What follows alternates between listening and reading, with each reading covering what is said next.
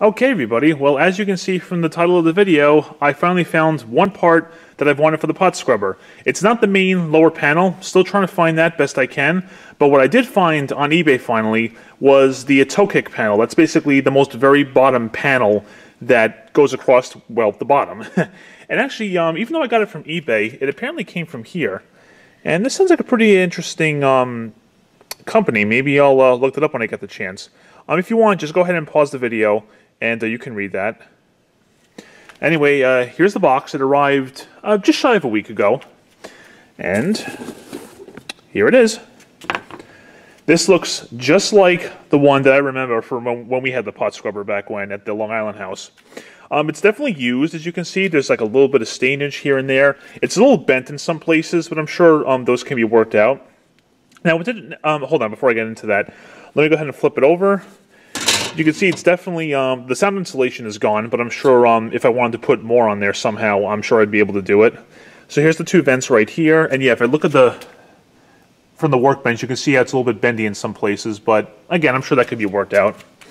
So one thing I do remember, interesting, interestingly enough, from when we had the pot scrubber back when was, uh, I think the sound insulation was kind of overdone, because I remember this vent is where I'd hear the motor from back when, but um, these two vent um, slots right here, they had the sound insulation over them, and looking back, it didn't cause any problems, but I'm like, if these are vent slots here, these probably shouldn't be covered, because I'm sure, you know, even though the motor for the pot scrubber only gets, like, warm throughout its entire cycle, you know, you want to have as much um, air circulation as possible, so I don't quite know exactly why these were covered like that, but I mean, that, that's a moot point by now, but um, I just know to keep these open when the time comes, and here's the part number right here. Okay, and yeah, it took multiple searches on eBay. For the longest time, I, I was only finding like the modern toe kick panels for like the um, the ones that have um, you know the drain valve motor setup nowadays, more modern. You know, I'm going with that. And I did find one a few months ago, but it was white, and I was like, eh, no go. But then oh, about a week ago, I saw this, and I was like, perfect. So again, I'll just need some cleaning, a little bit of working out to try to get some of the bends out, but very happy to have this. As a matter of fact, let's go over to the dishwasher and um, we'll go ahead and take a look. And you can kind of see how it all comes together. Now, the way it works is these two slots here on the side, as you can see, those are for the screw holes. One, yeah, one right there, and the other one's right here where I currently have the ground wire attached to. And basically, let me see if I can get this to um, just kind of stand in place. Let's see here. Get an idea of what it would look like.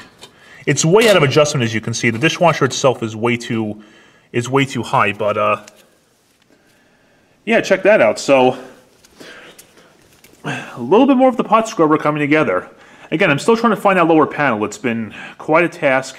And also, you like, you know, some people have left comments saying they're getting rid of a dishwasher similar to this. They have the lower panel, but like, I'll leave a reply to comments. I'll, I'll, um, I'll even give them an email address. They can email me, but it's a bust every single time. It's like three or four times now that it's happened, but not giving up. So if I can find this toe kick panel, I definitely have hope that I can find the um, I can find the uh, lower panel that goes with this. That'd be a just awesome find. Just got to keep trying, I guess. Anyway, there you guys go. Just a little short video. Got this finally for the bottom of the dishwasher. Very happy about it. At some point, I'll clean it up, straighten it out, and it should look good. But um, so far, making good, good progress on this pot scrubber. Man, I remember in 2020 just how excited I was that I finally got one, and um, just that in itself was the best. And now that we got this, it's definitely a good start in the right direction. Hopefully soon enough, we'll get the lower panel. But for now, very happy to have this. Thank you very much for watching, and take care.